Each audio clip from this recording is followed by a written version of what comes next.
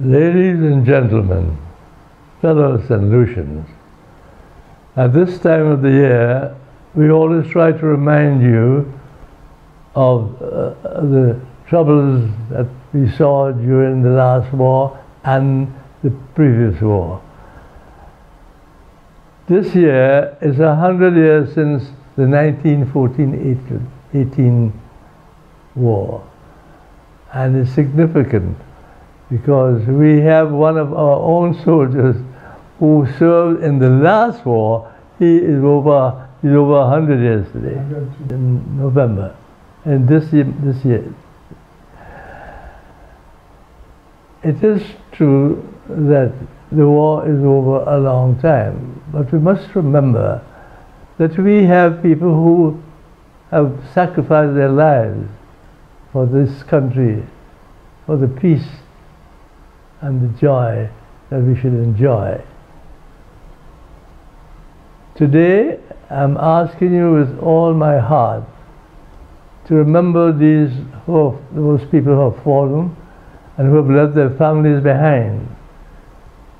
And as you know, at this time, in this year, things are very tough all over the world economically. So we are begging you, we are asking you to help us.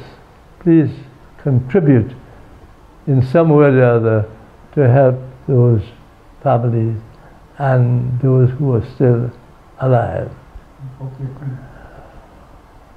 I was told that this hundred years that has passed, that there are a lot of St. Lucians who lost their lives in the First World War. And in the second, some of them have and they have given a lot of their lives and their time to help to bring this country and the rest of the world back to a proper civilized situation.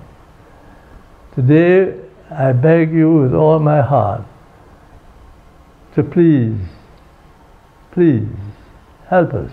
Be sending around poppies at various organizations, even the schools, even this one dollar that a school child can give.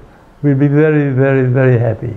Yes, I want to rem remind these people who always give us, and we want to be grateful, like the banks, the Lucelec, the credit union, and all the other individuals who usually give their personal, um, a, a personal check to help the Poppy Appeal Fund.